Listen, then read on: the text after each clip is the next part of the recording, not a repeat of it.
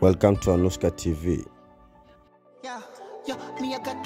Yo, mambo vipi? Tuko hapo live na Anushka TV. Na ujana hii Diamond Platnumz Ken nani alikuwa amemkera, ila kwenye insta posti zake aliweza kuposti kwamba kwenye insta story, Julai ni mwezi wa kuzaliwa kwa mama yangu, na kuanzia mwezi huo itaanza rasmi mvua ya mawe zangu, kolabo za nje na ndani, na nitahudumu hapo number one on trend kuanzia Julai 23 hadi Januari 2024 nitampandisha msanii, nitampisha msanii wangu mpya wa Wasafi na ninao, ninayo heshima nao.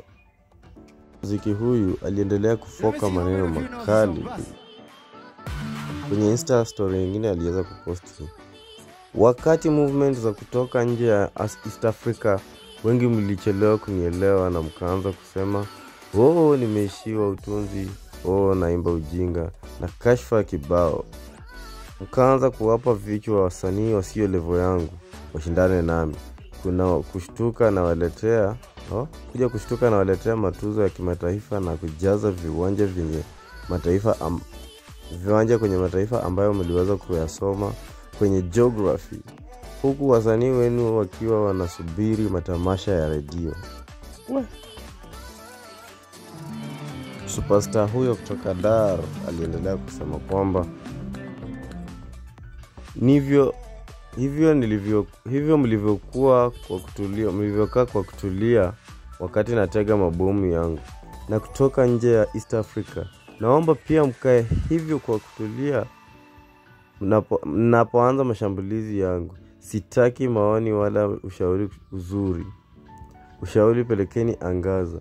Kama washauri wazuri wakati nilivyokuwa kimya nikidili na media, mngewashauri hawa wasanii wenu na washindanisha ili wafanye hata robo ya nilivyokuwa nikifanya kwenye matuzo majukwaa, kupunguza hili darau za wa Nigeria leo, lakini wote mli- mliwashindanisha, hasa wanaume tunayoyaweza. Tunapoanza tunaomba mtulize ki kweli. Diamond superstar huyo alikuwa kweli kasi, ka, amekasirika na watu ambao wanaweza kumkashfu na kusema kwamba alikuwa anaonyesha kiburi, ila kwa kweli anajaribu kuonyesha ambia wote wakae ready, anarudi kwa uzima uzima, ataweza kuwasumbua kwenye industry hii hadi 2024.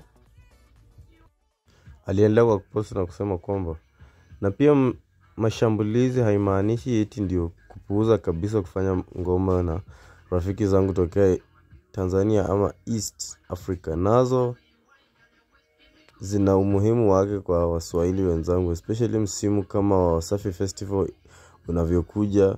Hivyo tege, tegemeeni pia kumwagika nyingi tu kutosha za kutosha.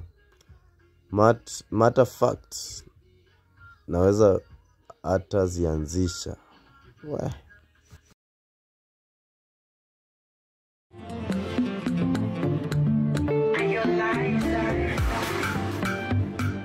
Ah, jamani, tuzidi kusubscribe kwenye Anushka TV, tuzidi kufollow, tuzidi kulike na kushare.